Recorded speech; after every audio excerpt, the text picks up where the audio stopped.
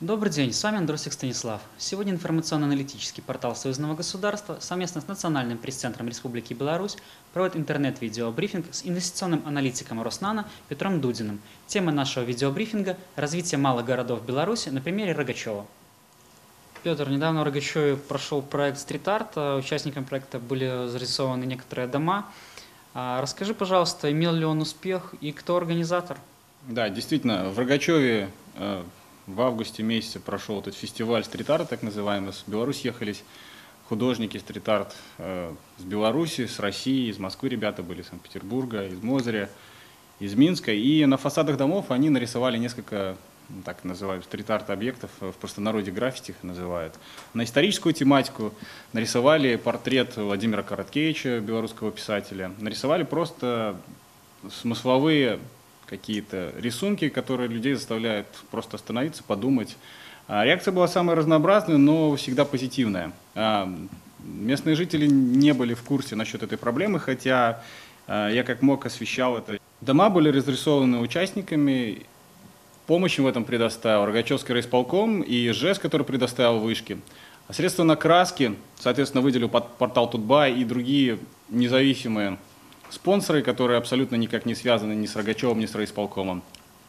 Самое главное, почему этот проект получился, в том, э, дело все в том, что местные власти содействовали утверждению планов, утверждению эскизов этих э, рисунков на фасадах. И художники достаточно быстро, в течение двух-трех недель, нарисовали шесть граффити на стенах домов. Местным жителям всем, в принципе, очень нравилось, но никто не понимал, откуда, что и как. Когда им объясняли, что это ничего городу не стоит, что это делается на деньги спонсоров, и что ребята за это получают ни копейки ни из местного бюджета, ни из чего-либо другого кармана, то какие-то небольшие страсти улеглись. И дальше сейчас туристы, молодежь, просто старшее поколение ходят на это все, засматриваются, любуются. Э, крайне позитивно, это именно то, чего Рогачеву не хватало, вот это маленькая изюминка, которая добавляет. Ну а художники поехали в другие города, поехали в Гродно, они определенные стрит-арт-объекты появились в Минске, в Мозыре, в Могилеве. Ну, в прошлом году они уже делали подобные вещи. И везде получают это очень положительную оценку жителей. А, расскажи, пожалуйста, о своей инициативе, э, о рогачевских проектах, э, как она задумывалась и с какой целью? Инициатива, которую я назвал «Рогачевские проекты», суть его заключалась в том, что чтобы свести вместе э, власти, и чтобы свести эти власти и архитектура, отдел города Рогачева с художниками, архитекторами, чтобы можно было каким-то образом преобразить лик города. А, к сожалению, чтобы работали архитекторы или какие-то художники, по крайней мере, для этого нужно финансирование. И финансирование э, может идти только из кармана спонсоров. Спонсоров нашлось немного, выступил портал Тутба и там буквально единичные люди, но тем не менее в таком формате это сотрудничество получилось. А, воплотился стрит-арт-объект, в будущем, возможно, появится проект городского парка, а, Инициатива исключительно частная. Она не зарегистрирована никаким образом, не, это не является юридической организацией, никаким обществом. А, поэтому это скорее похоже больше на какую-то проектную команду, которая собирает жители Рогачева, что-то решает, делает и предлагает э, свое решение а, Рогачевской администрации. В таком формате, именно в таком формате наиболее эффективно и работает, и не требует никаких финансовых вложений ни с, ни с какой сторон. Это исключительно волонтерская работа. А как ты считаешь, есть ли в Беларуси перспективу подобного рода проектов и, в принципе, частно-государственного партнерства в развитии малых городов? Я считаю, что в малых городах есть э, со стороны общества определенный запрос на то, чтобы появились какие-то изменения, чтобы возобновилось или даже появилось государственно-частное партнерство.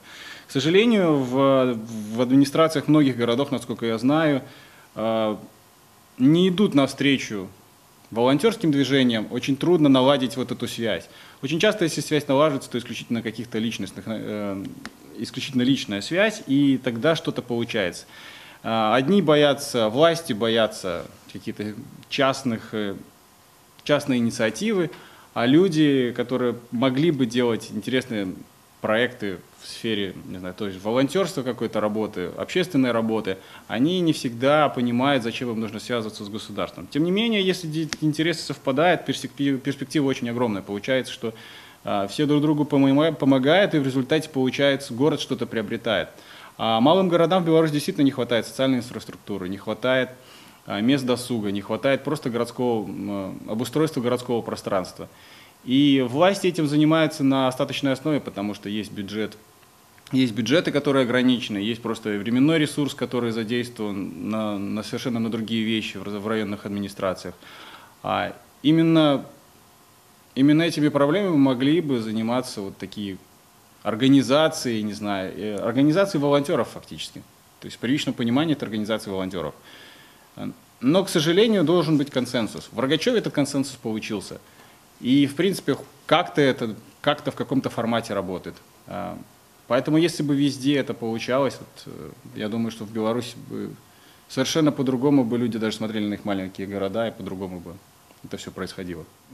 Петр Рогачев э, географически близок к границе с Россией. Э, как ты думаешь, насколько он может быть интересен российским бизнесменам, если в нем будут высоко развиты отношения между частным сектором и властями? Вопрос такой животрепещущий для маленьких городов, развитие городов, развитие социальной инфраструктуры. И как, как бы там ни казалось, Развитие социальной инфраструктуры малого города всегда завязано на экономику. Это взаимосвязанные вещи. А, к сожалению, существует серьезное настроение во всех малых и так называемых неперспективных городах у населения на то, чтобы уехать из города. А, многим не нравится жить в малых городах, они перебираются ради работы в другие места. А, если бы инвесторы до конца поняли эм, преимущество малых городов, которые это налоговые послабления, возможность э, напрямую решения всех вопросов с администрацией района, то это бы создало рабочие места. В свою очередь администрация, кроме помощи инвесторам, могла бы развивать социальную инфраструктуру. Это очень важно для того, чтобы те люди, которые остаются работать на вновь созданных рабочих местах, оставались, и чтобы появлялся приток новой рабочей силы. Потому что, к сожалению, сейчас рабочая сила, особенно молодежь, вымывается из малых городов, они переезжают в крупные города, в областные центры, и, к сожалению, проблема особо остро проявляется в сельской местности, ну и в малых городах численности до 50 тысяч.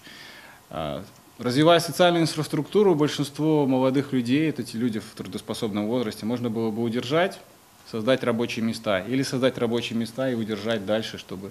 Это взаимосвязанные вещи, они идут рука об руку. К сожалению, это не всегда понимается местными властями и даже на более высоком уровне, но это крайне важно, и это именно то, что может показать экономическую грань Э, взаимоотношений государственно-частного партнерства. По поводу привлекательности к России, да, Восточная Беларусь, Рогачев стоит на трассе, э, достаточно оживленно, недалеко от трассы э, Орша, Гомель, Киев, границы с Российской Федерацией. Частный бизнес из России проявляет интерес, проекты в деревообработке, проекты в строительстве. Здесь очень крайне важно наличие образованной рабочей силы. В таком городе, как Рогачев, э, на самом деле проблемы такой нет. Э, вопрос создания рабочих мест. В Рогачеве работает два ПТУ, или так называемые, как профессиональные технические училища. И как раз-таки со скамьи профессионально-технических училищ э, новые организации могут забирать этих ребят, предоставляя им достойную оплату и достойную работу. Другие города таким похвастаться не могут, но здесь становится другая проблема, что нужны кадры инженерные. Опять же, э, все это в рамках малых городов возможно. И возможно привлечь в такой город, как Рогачев. И близость к России, многие российские бизнесы рассматривают действительно перенос свой бизнес в Беларусь, потому что здесь более квалифицированная рабочая сила, более понятная налоговая система, более понятное администрирование.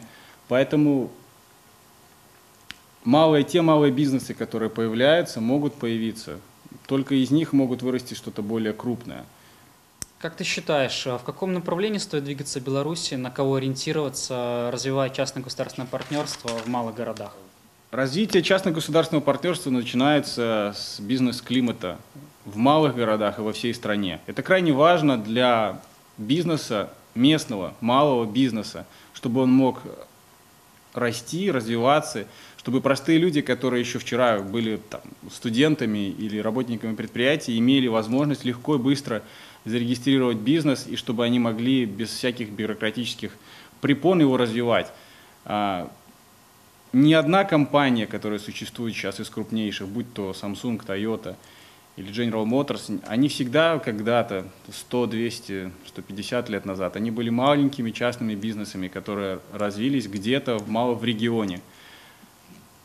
Понимание этого должно у государства родить помощь частным, э, частным компаниям, частным предпринимателям. именно эта форма а, партнерства в малых городах, она позволяет создавать новые рабочие места, позволяет в перспективе развиться в более крупное предприятие этим предпринимателям или организациям, которые вновь создаются. И в результате с ростом, с ростом численности работников, с ростом этих компаний а, в городах создается совершенно другая, другие новые трудовые отношения, более эффективные. У людей появляется стимул оставаться жить в этом городе. У людей появляется желание изменить что-то в своем городе. Многие бизнесмены, которые имеют неплохой доход, готовы потом жертвовать деньги на благотворительность, готовы организовывать какие-то социальные объекты, обустраивать свой город. Это крайне важно. Но все, я повторюсь, начинается с малого бизнеса, с его поддержки в простоте. И где-то, возможно, людям не хватает даже консультационных услуг. Хотя в Рогачеве есть маленький центр содействия предпринимательства. Таких вещей должно быть, таких объектов в городе по всей стране должно, должно быть больше. Сейчас приходит понимание, что именно частная, частная инициатива, частное предпринимательство, частное партнерство, частное государственное партнерство, оно способно принести гораздо больше плоды, чем раньше было принято думать. Это гораздо более гибкая система, и это, они, эта система проявляет именно ту гибкость, которая необходима в малых городах, которые крайне чувствительны к безработице, в отличие от крупных городов, где люди могут менять место работы в, в рамках одного города. В малых городах все немножко по-другому, это экосистема своеобразная. Соответственно, насчет вопроса, на кого ориентироваться, наверное, нам стоило ориентироваться бы на страны Балтии, потому что там структура экономики совершенно другая. Крупных городов там мало. Практически все э, населенные пункты по белорусским меркам могут быть отнесены к малым. Опять же, частные компании, сфера услуг.